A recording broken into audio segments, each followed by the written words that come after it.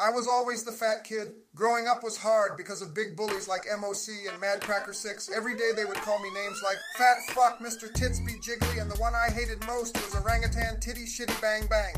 I would often think about suicide and occasionally punch myself in the dick, well, while I could still reach it, that is. One day when I was hiding from MOC in some bushes, I thought to myself, I'm a fat piece of shit, and I have a sudden urge to rap about it. The flow so smooth, I knew right then if I couldn't make it as a tow truck driver, I was gonna be a rapper.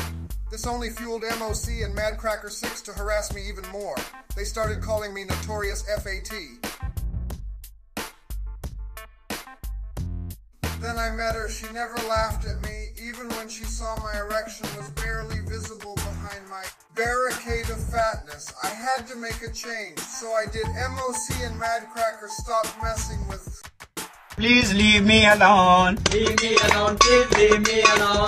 Leave me alone. Please leave me alone. Leave me alone, please.